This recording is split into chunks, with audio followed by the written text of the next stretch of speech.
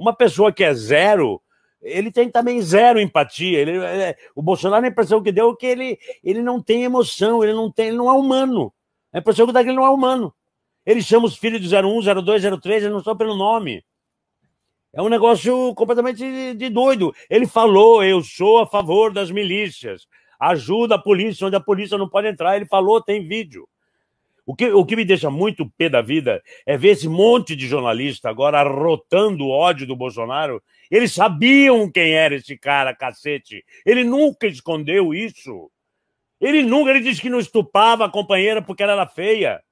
Ele disse que comia galinha quando ele era garoto. Ele disse que usava o dinheiro do apartamento para comer gente.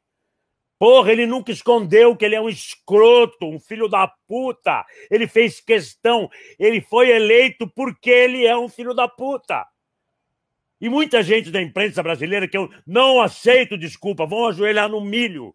Porque vocês estão, sim, como disse Lima Duarte, com as mãos sujas de sangue. Vocês lavaram as mãos no mensalão, no impeachment de Dilma, na Lava Jato. Vocês prepararam o caminho para que esse filho da puta destruísse o Brasil. Vocês erraram a quantidade de pólvora. Era para botar meio cartucho para chegar no Alckmin. Mas não, vocês encheram demais, porque o ódio que vocês têm da gente, que a gente fez pelo povo brasileiro, o ódio de vocês é tão grande que vocês, vocês botaram mais pólvora.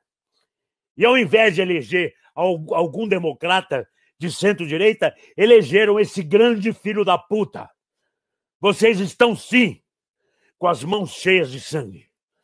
É tarde para descer do barco. A história é implacável.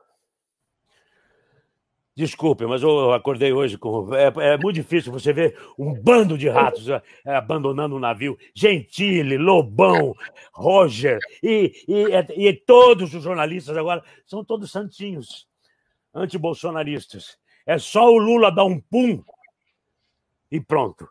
Cai o mundo. Continua tudo, voltou tudo ontem e anteontem. Vejam esses arrependidos o que falaram do Lula nesses dois, três dias. Continua o mesmo ódio insano, ódio de classe, ódio de dor de cotovelo, porque nós do PT fizemos coisas que vocês em 500 anos não conseguiram fazer e vão ter que engolir isso. E não mexe. Se não sabe lidar com formiga, não atiça o formigueiro.